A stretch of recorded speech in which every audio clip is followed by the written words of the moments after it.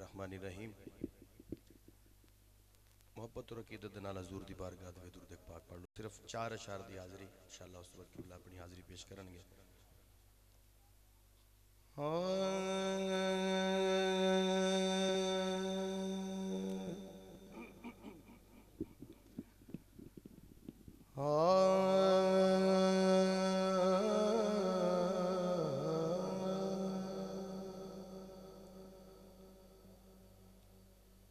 Habiba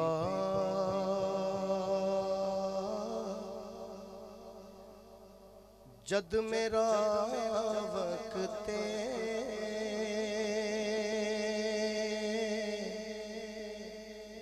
नजा होवे ते आ जावी हबीबा जद मेरा वक्त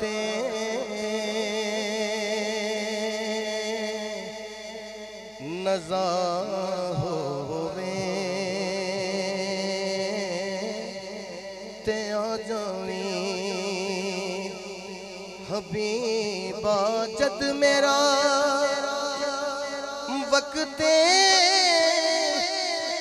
नजा होए तवी बदल त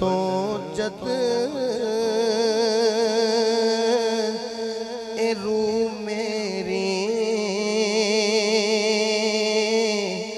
जुदा हुवे तव्हीं बदल तद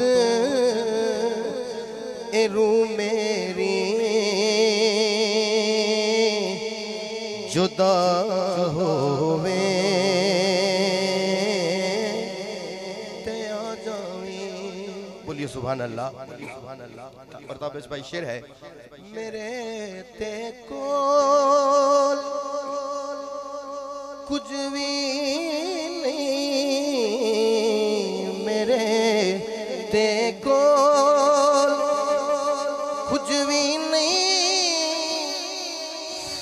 फकत पल्ले सना तेरे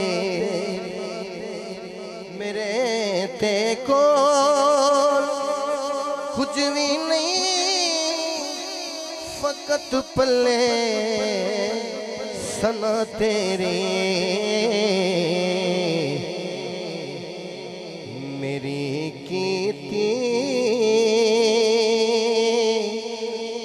पसंद तेनु सना होवे ते जावे। मेरी कीती पसंद तेनु। सना होवे।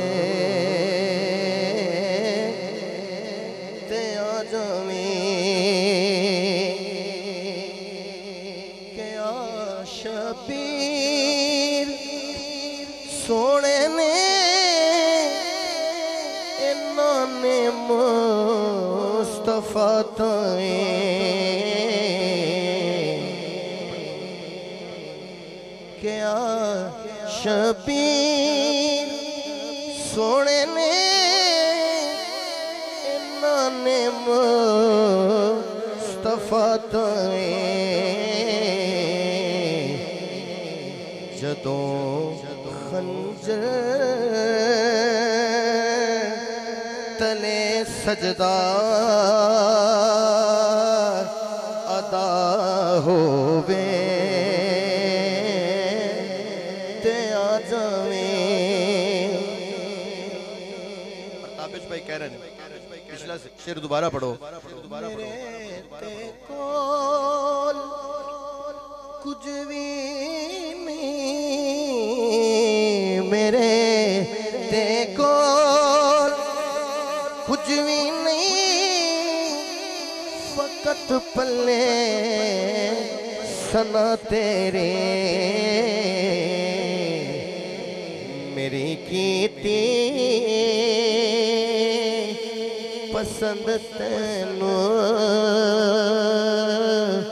सना होवे। ते आ जावें कबर दा मरहला आका मैं सुनया ढेर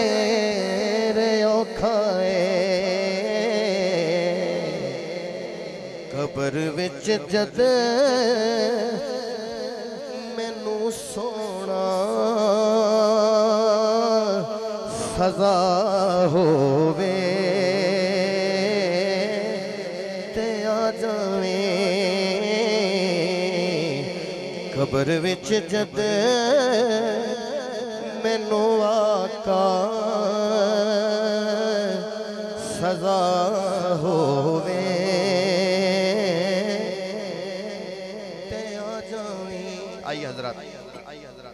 शेर बच गया। मन दे तो एक शेर पेश करके जा चाहवा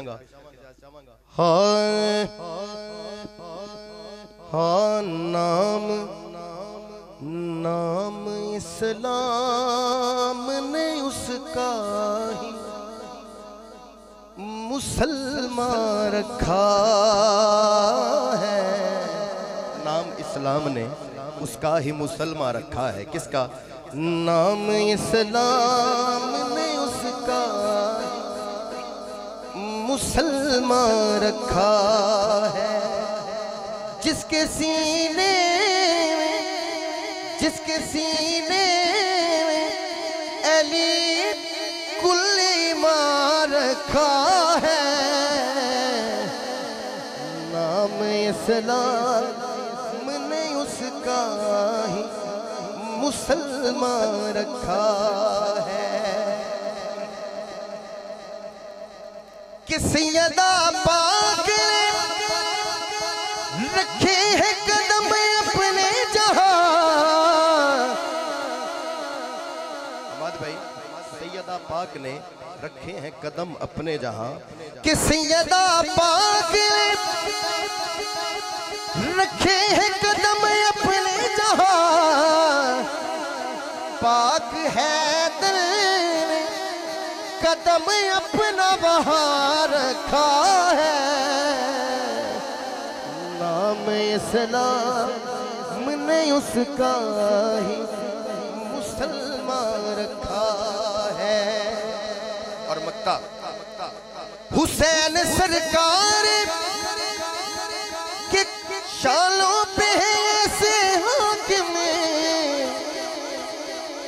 हुसैन हुसैन सरकार के कांधों पे हैं ऐसे हाकिम। हुसैन सरकार के कांधों पे हैं ऐसे हाकिम। कैसे? एल स्टेज हुसैन सरकार के कांधों पे हैं ऐसे हाकिम के जैसे कुरान, के जैसे कुरान पे एक और कुरान रखा है। नाम इस्लाम ने उसका ही मुसलमान रखा है। शेर दी दोबारा फरमाइश आई मोहब्बत न बोलो सुभान अल्लाह हुसैन सरकार के शालों पे ऐसे हाकिम के जैसे कुरान के जैसे कुरान एक और कुरान रखा है। नाम इस्लाम ने उसका ही मुसलमान रखा है। जिसके सीने में, जिसके सीने में अली कुल ईमान रखा है। नाम इस्लाम उसका ही मुसलमान रखा है। हाँ। क्या कहने क्या कहने क्या कहने? वक्त चूँकि इंतहाई मुख्तसर है, मैं सिर्फ़ दो शेर इमाम अली मकाम के और एक शेर मखदूमा कायनात का अर्ज़ करके माइक किबला के हवाले करता हूँ। और ताबिश भाई, बहुत खूबसूरत कलाम था, ज़ाहिर है इनका हर कलाम खूबसूरत होता है। नबी के बोसों की बारिशों में बड़े हुए थे। नबी के बोसों की बारिशों में बड़े हुए थे, जो सर कटे एक तश्तरी में पड़े हुए थे। सुना है, कुरान पढ़ रहे थे वो लब मुसलसल। सुना है, कुरान पढ़ रहे थे वो लब मुसलसल। अगरचे उनके हलक में नेज़े गड़े हुए थे। सुना है कुरान पढ़ रहे थे वो लब मुसलसल। अगरचे उनके हलक में नेज़े गड़े हुए थे। मियाँ, हम उनकी मुखालफत में खड़े रहेंगे। मियाँ, हम उनकी मुखालफत में खड़े रहेंगे। हुसैन जिनकी मुखालफत में खड़े हुए थे। मियाँ, हम उनकी मुखालफत में खड़े रहेंगे। मियाँ, हम उनकी मुखालफत में खड़े रहेंगे। हुसैन जिनकी मुखालफत में खड़े हुए थे, खुदा की रहमत ने अहले सुन्नत को फैज़ बख्शा। खुदा की रहमत ने अहले सुन्नत को फहम बख्शा। नहीं तो लोगों ने सौ फसाने गढ़े हुए थे। खुदा की रहमत ने अहले सुन्नत को फहम बख्शा। नहीं तो लोगों ने सौ फसाने घड़े हुए थे। मेरी हाजिरी का आखिरी शेर अहबाब की तवज्जो चाहूँगा। सिर्फ़ तवज्जो चाहिए, खामोशी से सुन लें। मखदूमा कायनात का ज़िक्र है। ये वो कली है कि जिसकी खुशबू को सजदा करती हैं खुद बहारें। ये वो कली है, ये वो कली है कि जिसकी खुशबू को सजदा करती हैं खुद बहारें। ये वो सितारा है जिससे रोशन है आसमानों की रह गुजारें। ये वो सहर है कि जिसकी किरणें भी हैं इमामत की आबशारें। ये वो गौहर है कि जिसका सदका फलक से आकर मलक उतारें। ये वो नदी है जो आदमीयत की मुमलकत में रवा हुई है। ये वो नदी है जो आदमीयत की मुमलकत में रवा हुई है। ये वो शजर है कि जिसके साय में खुद शराफत जमा हुई है। ये वो शजर है, ये वो शजर है कि जिसके साय में खुद शराफत जवा हुई है। इतना सा भी तेरे हक में नेक है। तेरा हुसैन अब भी ज़माने में एक है। बस इन्हीं अशार के साथ, इन्हीं अल्फाज के साथ दावत सुखन पेश करता हूँ, दावत नात पेश करता हूँ। किसी तारुफ के मोहताज नहीं। सना खान मुस्तफ़ा, मेरी मुराद, अलहाज अहमद अली, हाकिम साहिब, आप तशीफ लाएँ, बारगाह खैरुलनाम में अकीदत के फूल निछावर फरमा